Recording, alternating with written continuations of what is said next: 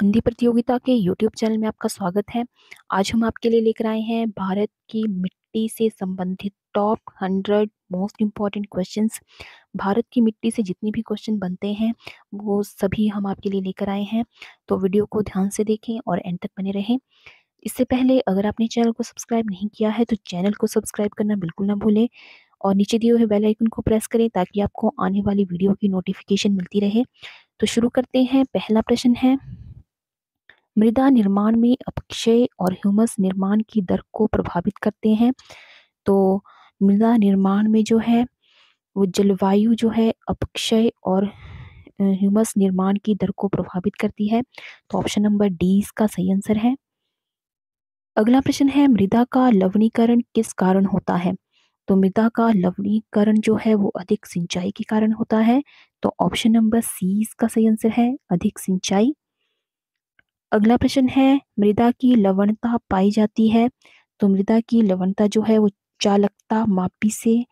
मापी जाती है तो ऑप्शन नंबर ए इसका सही आंसर है अगला प्रश्न है निम्नलिखित राज्यों में से किसमें भारत की सबसे अधिक अंतर्देशीय लवणीय आर्द्र भूमि है तो भारत की सबसे बड़ी अंतर्देशीय लवणीय आर्द्र भूमि जो है वो है राजस्थान में ऑप्शन नंबर डी इसका सही आंसर है अगला ऑप्शन है मिट्टी में लवणता या खारापन एवं क्षारियता की समस्या का समाधान है तो इसकी समस्या का जो समाधान है वो है खेतों में जिप्सम का उपयोग जो है जब खेतों में जिप्सम का उपयोग किया जाता है तो इस मिट्टी की लवणता और क्षारियता की समस्या का समाधान किया जा सकता है तो ऑप्शन नंबर ए इसका सही आंसर है अगला प्रश्न है तेजाबी मिट्टी को कृषि योग्य बनाने हेतु निम्नलिखित में से किसका उपयोग किया जाता है तो तेजाबी मिट्टी को कृषि योग्य बनाने में जो है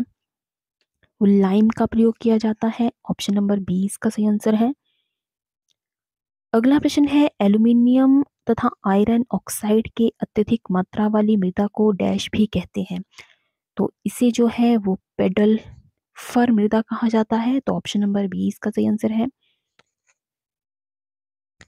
अगला प्रश्न है प्रचुर कैल्शियम वाली मृदा को क्या कहा जाता है तो प्रचुर कैल्शियम वाली मृदा को पेडोकल कहा जाता है ऑप्शन नंबर ए इसका सही आंसर है अगला प्रश्न है भारतीय मृदाओं में जिस सूक्ष्म तत्व की सर्वाधिक कमी है वह है तो वह है लोहा ऑप्शन नंबर ए इसका सही आंसर है सॉरी सबसे ज़्यादा कमी जो है वो जस्ता का होती है तो ऑप्शन नंबर डी इसका सही आंसर है अगला प्रश्न है मृदा जल के माध्यम से शीर्ष मृदा में मृदा में खनिजों के स्थानांतरण की क्रिया को क्या कहते हैं तो मृदा जल के माध्यम से शीर्ष शीर्ष मृदा से अवमृदा में खनिजों के स्थानांतरण को जो है वो प्रक्षालन कहा जाता है ऑप्शन नंबर सी इसका सही आंसर है अगला प्रश्न है भारत में बंजर भूमि का सबसे बड़ा हिस्सा किस राज्य का है तो भारत में बंजर भूमि का सबसे बड़ा हिस्सा है राजस्थान में तो ऑप्शन नंबर डी इसका सही आंसर है भारत के उत्तरी मैदानों की मृदा सामान्यता कैसे बनी है तो भारत के उत्तरी मैदानों की मृदा जो है वो तल्लोचन द्वारा बनी है तो ऑप्शन नंबर बी इसका सही आंसर है अगला प्रश्न है निम्नलिखित में से कौन सा मृदा से संबंधित है तो इनमें से मृदा से संबंधित है इडेफिक ऑप्शन नंबर बी इसका सही आंसर है एंटीसोल है तो एंटीसोल जो है वो जलोड़ मिट्टी है तो ऑप्शन नंबर बी इसका सही आंसर है अगला प्रश्न है भारत भूमि का सबसे अधिक व्यापक रूप में कौन सी मिट्टी फैली हुई है तो भारत भूमि पर सबसे अधिक व्यापक रूप से जो है कच्छारी या जलोड़ मिट्टी जिसे कहते हैं जो है वो व्यापक रूप से फैली हुई है तो ऑप्शन नंबर सी का सही आंसर है अगला प्रश्न है भारत में सबसे अधिक उपजाऊ मृदा कौन सी है तो भारत में सबसे अधिक उपजाऊ मृदा है जलोड़ मृदा ऑप्शन नंबर सी इसका सही आंसर है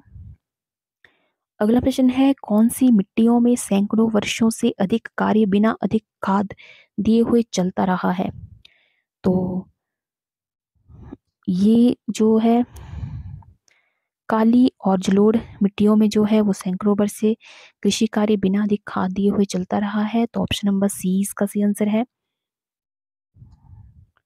अगला प्रश्न है निम्नलिखित में से वह फसल कौन सी है जो जलोड़ मिट्टी में उगती है और जिसके लिए प्रचुर मात्रा में पानी की आवश्यकता होती है तो ये है चावल ऑप्शन नंबर सी इसका सही आंसर है अगला प्रश्न है धान की खेती के लिए सर्वाधिक आदर्श मृदा कौन सी है तो धान की खेती के लिए सबसे आदर्श मृदा है जलोड़ मृदा ऑप्शन नंबर सी इसका सही आंसर है गंगा की जलोढ़ मृदा की गहराई भूमि तह के नीचे लगभग जो है वो है 6000 मीटर तक होती है जो गंगा की जलोढ़ मृदा की जो गहराई है भूमि सतह के नीचे जो है लगभग 6000 मीटर तक होती है तो ऑप्शन नंबर बी इसका सही आंसर है अगला प्रश्न है गंगा के मैदानों में पुरानी जलोढ़ मिट्टी कहलाती है तो इसमें जो पुरानी जलोड़ मिट्टी है वो बांगर कहलाती है ऑप्शन नंबर ए इसका सही आंसर है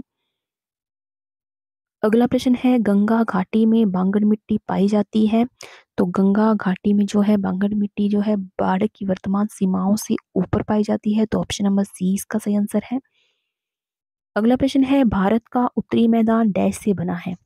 तो भारत का उत्तरी मैदान जो है वो जलोड़ मृदा से बना है तो ऑप्शन नंबर सी इसका सही आंसर है अगला प्रश्न है हिमालय की तलहट्टी में जलोड़ पंखों को कहा जाता है तो हिमालय की तलहट्टी में जलोड़ पंखों को जो है वो भाबर कहा जाता है ऑप्शन नंबर डी इसका सही आंसर है अगला प्रश्न है किसी शुष्क प्रदेश में बृहद सारे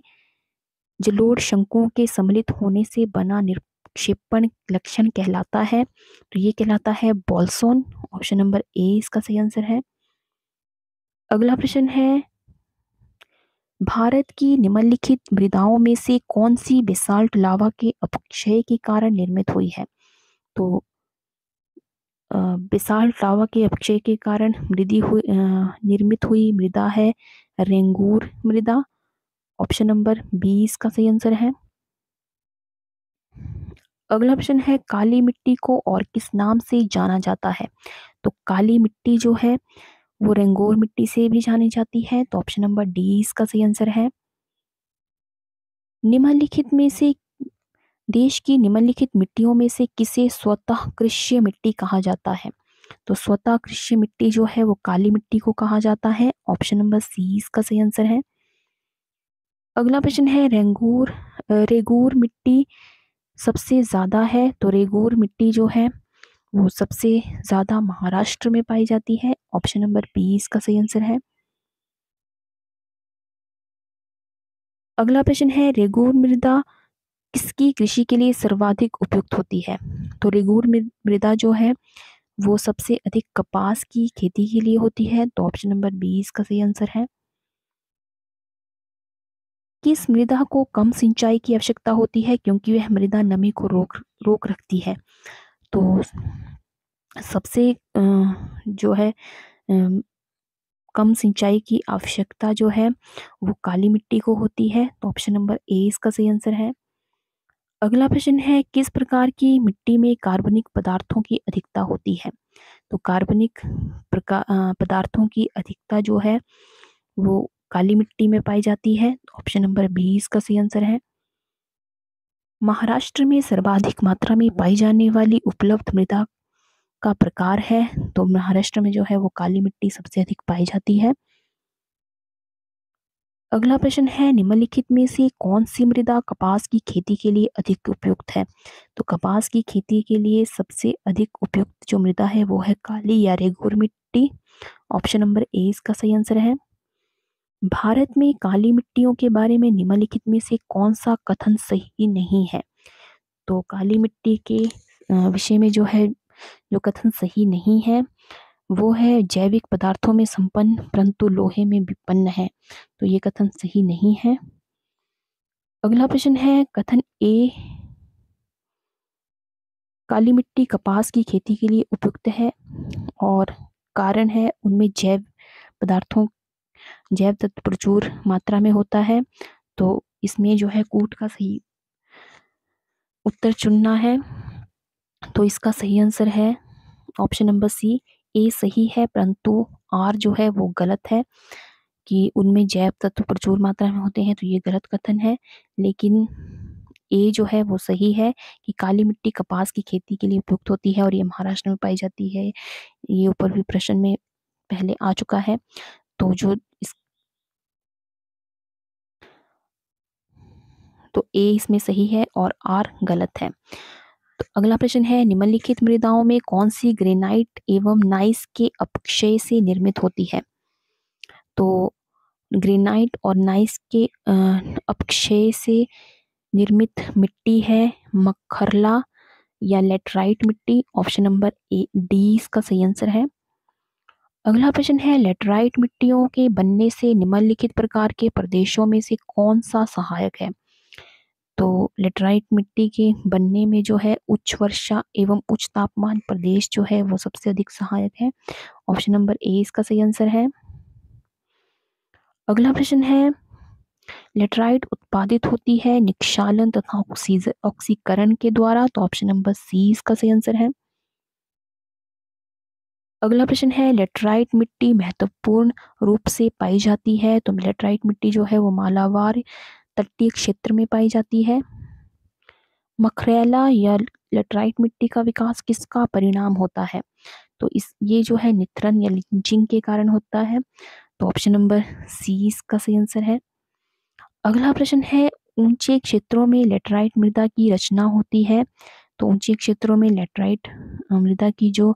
रचना होती है वो होती है अम्लीय ऑप्शन नंबर सी इसका सही आंसर है डैश मिट्टी की ऊपरी परत में स्थित रसायनों का पानी में धुले होने के कारण मिट्टी की निचली परतों में या भोजन में होने वाला संचालन है तो लिंचिंग मिट्टी की ऊपरी परत में स्थित रसायनों या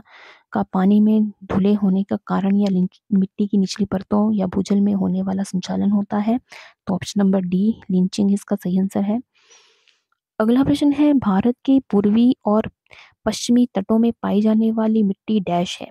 तो पूर्वी और पश्चिमी तटों में जो है वो लेट्राइट मिट्टी पाई जाती है निम्नलिखित में से किन राज्यों में आपको गुलाबी मिट्टी मिल सकती है तो गुलाबी मिट्टी या लेटराइट मिट्टी जो है वो मिलती है पश्चिम बंगाल और आंध्र प्रदेश में ऑप्शन नंबर ए इसका सही आंसर है निम्नलिखित में से किस राज्य में लेटराइट मिट्टी पाई जाती है तो लेटराइट मिट्टी जो है अभी कर्नाटक और तमिलनाडु में पाई जाती है तो ऑप्शन नंबर डी इसका सही आंसर है निम्नलिखित में से किस राज्य में लेटराइट मिट्टी पाई जाती है तो लेटराइट मिट्टी अगर इन राज्यों की बात की जाए तो इनमें जो है वो केरल में भी लेटराइट मिट्टी पाई जाती है और महाराष्ट्र में भी लेटराइट मिट्टी पाई जाती है तो ऑप्शन नंबर ए और डी दोनों ही सही होंगे आगे है लेटराइट मिट्टी कहाँ पाई जाती है तो इन ऑप्शन के अनुसार जो है वो लेटराइट मिट्टी जो है वो पाई जाती है आर्द्र तथा शुष्क जलवायु वाले उष्ण कटिबंधीय क्षेत्र में तो ऑप्शन नंबर डी इसका सही आंसर है अगला प्रश्न है भारत में निम्नलिखित में से कौन मृदा समूह लोहे का अतिरेक होने के कारण अनुवर होता रह, होता जा रहा है तो इसका सही आंसर है ऑप्शन नंबर डी तो मृदा जो है लेटराइट मिट्टी समूह जो है लोहे का अतिरिक्त होने के कारण उर्वरक होता जा रहा है लेटराइट मिट्टी में तो ऑप्शन नंबर डी इसका सही आंसर है अगला प्रश्न है वह मिट्टी जो वर्षा के कारण गहन निक्षालन की ओर प्रवृत्त है क्या कहलाती है तो वो कहलाती है लेटराइट मिट्टी ऑप्शन नंबर बी इसका सही आंसर है निम्नलिखित में से कौन लेटराइट मिट्टियों के लिए सही नहीं है तो लेटराइट मिट्टियों के लिए जो सही नहीं है वो है उनमें चूना प्रचुर मात्रा में पाया जाता है तो ये कथन सही नहीं है अगला प्रश्न है भारत में लेटराइट मिट्टी के बारे में निम्न में से कौन सा कथन सत्य नहीं है ये लोहांश में विपन्न परंतु नाइट्रोजन में संपन्न है ये कथन गलत है ऑप्शन नंबर सी इसका सही आंसर है भारत की लेटराइट मिट्टियों के बारे में कौन सा कथन सही नहीं है तो इन सभी ऑप्शन में जो कथन सही नहीं है वो है नीचे कुछ कोट भी दिए गए हैं कोट के हिसाब से जो है ऑप्शन नंबर सी एक और चार वे साधारणता लाल रंग की होती है और इन मिट्टियों में टेपियोका और काजू की अच्छी उपज होती है तो ये कथन गलत है अगला प्रश्न है लेटराइट लेटराइट कथन और कारण दिए गए हैं लेटराइट मृदा रंग में लाल तथा गठन में स्थूल होती है और कारण दिया गया है प्रचुर फास्फोरिस अमल और सिलिका इन मृदाओं का विशिष्ट रंग एवं गठन प्रदान करते हैं तो इनमें से ए सही है परंतु आर गलत है तो ऑप्शन नंबर सी इसका सही आंसर है किस मिट्टी में कोशिका सबसे अधिक प्रभावशाली होती है तो कोश केशिका सॉरी किस मिट्टी में केशिका सबसे अधिक प्रभावशाली होती है तो केशिका जो है वो चिकनी मिट्टी में अधिक प्रभावशाली होती है तो ऑप्शन नंबर बी इसका सही आंसर है पौधों को सबसे अधिक पानी किस मिट्टी में मिलता है तो पौधों को सबसे अधिक पानी जो है वो चिकनी मिट्टी में मिलता है ऑप्शन नंबर बी इसका सही आंसर है दुमटी या लो मिट्टी में मिट्टी का कौन सा कण मिलता है तो इसमें जो है मिट्टी के सभी प्रकार के कण मिले होते हैं ऑप्शन नंबर डी इसका सही आंसर है भारत में लाल मिट्टी सामान्यता कौन से क्षेत्र में पाई जाती है तो भारत में लाल मिट्टी जो है वो दक्षिण पठार के पूर्वी और दक्षिण भाग में मिलते हैं तो ऑप्शन नंबर पूर्वी और दक्षिणी भाग में जो है दोनों में ही पाई जाती है लाल मिट्टी अगला प्रश्न है लाल मृदा के रंग लाल रंग किसके आलेपन के कारण आ जाता है तो लाल मृदा में लाल रंग जो है वो आता है लोहे के कारण ऑप्शन नंबर सी इसका सही आंसर है अगला प्रश्न है भारत के कुछ भागों में यात्रा करते हुए आप देखेंगे कि कहीं कहीं लाल मिट्टी पाई जाती है मिट्टी के इस लाल रंग का प्रमुख कारण क्या है तो मिट्टी के इस लाल रंग का प्रमुख कारण होता है फेरिक ऑक्साइड की विद्यमानता ऑप्शन नंबर सी इसका सही आंसर है दंडकारण्य क्षेत्र में मुख्यतः पाई जाती है तो इसमें मुख्यतः जो है लाल और पीली मिट्टियाँ पाई जाती है छत्तीसगढ़ के अधिकांश भाग की विशेषता है तो छत्तीसगढ़ के अधिकांश भाग की जो विशेषता है वो है लाल मिट्टी ऑप्शन नंबर डी चाय की खेती के लिए कौन सी मिट्टी सर्वाधिक उपयुक्त है तो चाय की खेती के लिए सबसे अच्छी जो मिट्टी होती है वो होती है भूरी लाल और पीली मृदा ऑप्शन नंबर ए इसका सही आंसर है मिट, लाल मिट्टी के बारे में निम्नलिखित में से कौन सा कथन सत्य है तो इसमें जो लाल मिट्टी के विषय में जो कथन सत्य है वो है यह लौह यौगिक के समृद्ध है तो ऑप्शन नंबर सी इसका सही आंसर है भारत की लाल मिट्टियों के बारे में निम्नलिखित में से कौन सा कथन सही है तो इनमें से जो कथन सही है लाल मिट्टी के विषय में वो है मृदा का रंग उसमें फेरिक ऑक्साइड के अंश के कारण होता है तो ऑप्शन नंबर ए जो है इसका सही आंसर है और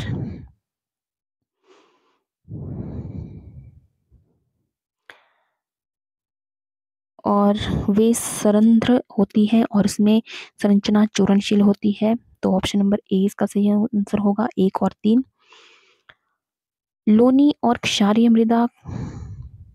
भारत में एक और नाम है मृदा का जो है भारत में एक और नाम है और लोनी लोनी और क्षारीय मृदा को जो है भारत में कल्लर मृदा भी कहा जाता है ऑप्शन नंबर सी इसका सही आंसर है उच्च अक्षांश के चीड़ के बन की राख जैसी धूसर मृदा इस नाम से भी जाने जाते हैं तो उच्च अक्षांश के चीड़ के बन की राख जैसी धूसर मृदा को जो है वो कहा जाता है पेडल पेडसोल्ट पॉडसोल्स मृदा ऑप्शन नंबर सी इसका सही आंसर है पॉडसोल क्या है तो पॉडसोल जो है वो कोणाधारी वन प्रदेशों में पाई जाने वाली मिट्टी है कोणधारी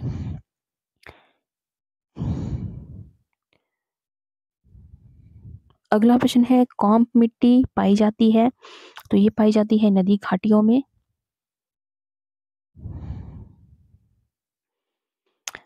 अगला प्रश्न है नदी के किनारे के साथ साथ नवीन काम द्वारा निर्मित बाढ़ का मैदान कहलाता है तो ये कहलाता है खादर ऑप्शन नंबर ए इसका सही आंसर है निम्न पद्धतियों में से किस एक का मृदा की उर्वरता फिर से स्थापित करने के लिए प्रयोग करते हैं तो मृदा की उर्वरता को फिर से स्थापित करने के लिए जो है प्रति छोड़ना छोड़ने का जो है प्रयोग किया जाता है ताकि मृदा की उर्वरता को फिर से स्थापित किया जाए अगला प्रश्न है फसलों का आवर्तन क्यों अनिवार्य है तो फसलों का आवर्तन जो है वो मृदा की उर्वरता को बढ़ाने के लिए किया जाता है निम्नलिखित में से कौन सी विधि मृदा की उर्वरता और नमी के संरक्षण में मदद नहीं करती है तो जो आ, स्थानांतरी कृषि जो है तो स्थानांतरित कृषि जो है वो मृदा की उर्वरता और नमी के संरक्षण में मदद नहीं करती है ऑप्शन नंबर डी इसका सही आंसर है अगला प्रश्न है मृदा अपर्दन रोका जा सकता है तो मृदा अपर्दन जो है वो वन रोपण द्वारा रोका जा सकता है ऑप्शन नंबर सी इसका सही आंसर है पर्वतीय स्लोपों हिल स्लॉप्स पर मृदा अपरदन को किस प्रकार नियंत्रित किया जा सकता है तो पर्वतीय स्लोपों पर मृदा अपरदन को जो है वो समोच रेखाई जुताई के द्वारा रोका जा सकता है नियंत्रित किया जा सकता है अगला प्रश्न है मृदा अपरदन क्षेत्र के उपचार हैं तो समोच क्षेत्र की किनारा बंदी ऑप्शन नंबर ए इसका सही आंसर है अगला प्रश्न है निम्नलिखित में से कौन सा एक मृदा अपर्दन का कारण नहीं है तो मृदा अपर्दन का जो कारण नहीं है वो है अपक्षय अगला प्रश्न है मृदा के कटाव को रोकने के लिए बड़े पैमाने पर वृक्ष लगाने को क्या कहते हैं तो इसे कहा जाता है आश्रय पट्टी ऑप्शन नंबर ए इसका सही आंसर है किसी मरुक्षेत्र में मृदा अपर्दन को रोका जा सकता है पेड़ लगाकर या वनरोपण द्वारा ऑप्शन नंबर सी इसका सही आंसर है अगला प्रश्न है हिमनद के द्वारा लाए गए पदार्थ जैसे छोटे बड़े शैल रेत एवं तलछट मिट्टी निक्षेपित होते हैं जिन्हें हिमनद डैश कहा जाता है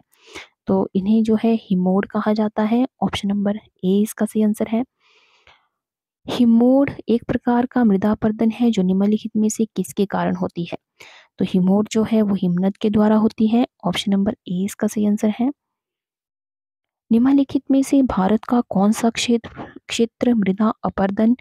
या सॉइल इरोजन से अत्यधिक प्रभावित है तो सॉइल इरोजन से जो है सबसे अधिक प्रभावित क्षेत्र है चंबल घाटी ऑप्शन नंबर डी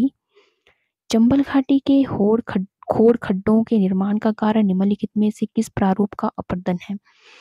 तो ये अवनालिका का अपर्दन है ऑप्शन नंबर डी इसका सही आंसर है अगला प्रश्न है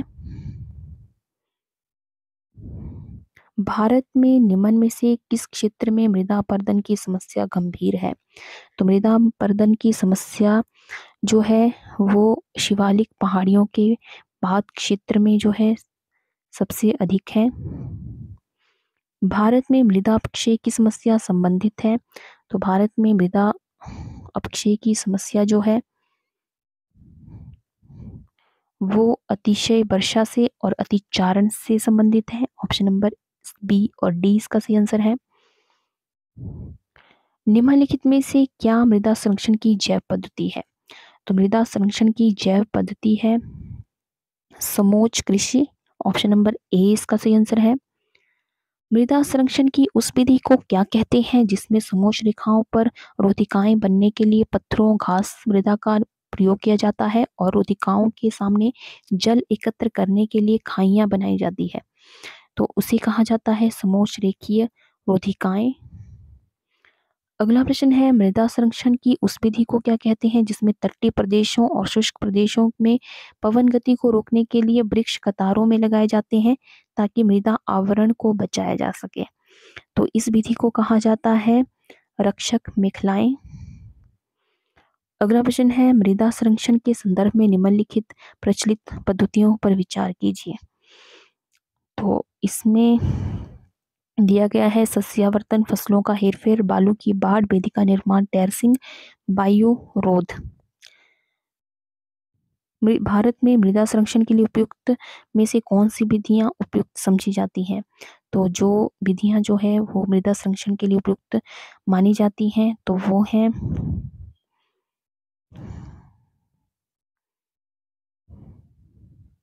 एक तो है सस्यावर्तन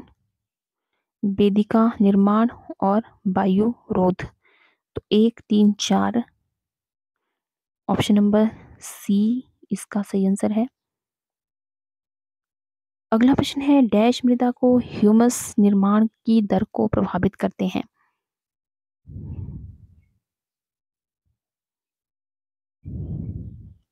तो मृदा के ह्यूमस निर्माण की दर को प्रभावित करते हैं करती है जलवायु ऑप्शन नंबर सी इसका सही आंसर है ये क्वेश्चन पहले भी रिपीट हो चुका है भारत के कच्छ का रण किस लिए प्रसिद्ध है तो भारत के कच्छ का रण जो है वो ज्वार मिट्टी के मैदान के लिए प्रसिद्ध है डैश को सामान्य रूप से शैल मलवा या ढाल से गिरने वाली मिट्टी के बृहद संचलन के रूप में परिभाषित किया जाता है तो भू संकलन को जो है सामान्य रूप से शैल मलबा या ढाल से गिरने वाली मिट्टी के बृह संचलन के रूप में प्रभावित किया परिभाषित किया जाता है तो भू संकलन इसका सही आंसर है अगला प्रश्न है भूमि कारक को अन्य रूप से जाना जाता है तो इसे जाना जाता है मृदीय कारक के रूप में ऑप्शन नंबर डी इसका सही आंसर है समुद्र में बहिवृष्ट भूमि कहलाती है प्रायद्वीप ऑप्शन नंबर बी इसका सही आंसर है दो नदियों के बीच उपजाऊ भूमि को कहा जाता है तो इसे दोआब कहा जाता है ऑप्शन नंबर सी इसका सही आंसर है ह्यूमस उदाहरण है तो ये उदाहरण है जैविक कोलाइड का ऑप्शन नंबर सी इसका सही आंसर है निम्नलिखित में से कौन सा एक भारत में भूवैज्ञानिक समूहों के बनने का सही आयु के आधार पर सही अनुक्रम है